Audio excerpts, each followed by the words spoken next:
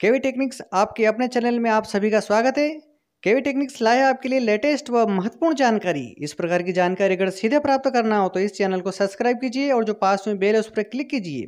साथियों, बिना समय गवाए जानकारी स्टार्ट करते हैं। दोस्तों, नई शिक्षा नीति बेरोजगारों के लिए खुश खबर लेके आइए अब बीएड और डीएड करने के बाद स्टूडेंट नहीं बैठेंगे खाली। हर एक को मिलेगी जॉब। बीएड करने के बाद मिले नौकरी। नई शिक्षा नीति में ये की गई है सिफारिश। दोस्तों, जल्दी से इस वीडियो को लाइक कर दीजिए और सब्सक्राइब कर दीजिए। आपका लाइक करना और सब्सक्राइब करना ही हमारी मेहनत का फल है। नई शिक्षा नीति में बीएड करने वाले को अनिवार्य रूप से नौकरी देने की सिफारिश की गई है। इसके तहत आने वाले दिनों में बीएड करने के बाद लोग बेरोजगार नहीं घूमेंगे। फ़िलहाल यह नीति सरकार के पास विचाराधीन है, जिसे लेकर देश भर से सुझाव मांगे गए हैं। इसके साथ ही बीएड में दाखिला लेने वाले छात्रों को मेरिट के आधार पर छात्रवृत्ति देने की बात भी कही गई है। इस नई प्रस्तावित शिक्षा नीति में शिक्षक के पैसे में अच्छी प्रतिभाओं को न आने को लेकर भी चिंता जताई गई है। साथ ही कहा गया कि यह तभी संभव होगा जब शिक्षक के पैसे को सम्मान दिया जाएगा। इसके लिए ज़रूरी यह है कि उन्हें पढ़ाई के समय से ही अच्छी सुविधाएँ, छात्रवृत्ति और पढ़ाई खत्म करने के बाद अनिवार्य रूप से नौकरी दी जाए। खासकर ग्रामीण क्षेत्रों में इस तरह की पहल की सबसे ज़्यादा ज़रूरत है। इस मसौदे में बीएड के चार वर्षीय कोर्स में तेज़ी लाने का भी प्रस्ताव है। मसौदों में शिक्षक तैयार करने वाले देश के सत्रह हज़ार संस्थानों पर भी सवाल खड़े किए गए हैं। साथ ही इनके ढांचे को मज़बूत बनाने की भी सिफारिश की गई है।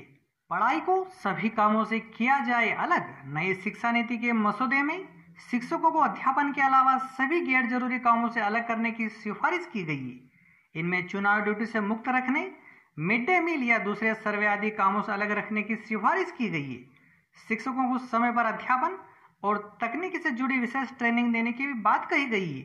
दोस्तों, आप अभी वीडियो के कमेंट बॉक्स में जाकर इस टॉपिक पर अपने विचार व्यक्त कीजिए। शिक्षकों की ज़रूरत का किया जाए अध्ययन, मसौदे में शिक्षकों की ज़रूरत का पता लगाने के लिए हर एक पाँच साल में एक अध्ययन की भी सिफारिश की गई है, जो प्रत्येक राज्यों को करनी होगी।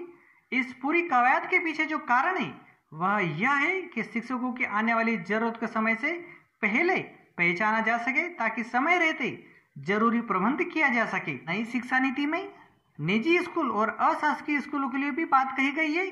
निजी स्कूलों में टीईटी पास शिक्षक को ही नियुक्ति हो। प्रस्तावित मसौदे में टीटी टीचर एजिलिबिलिटी टेस्ट को निजी स्कूलों में पढ़ाने वाले शिक्षकों के लिए भी अनिवार्य करने की सिफारिश की गई है। मौजूदा समय में यह सिर्फ़ सरकारी स्कूलों में पढ़ाने वाले शिक्षकों के लिए अनिवार्य है।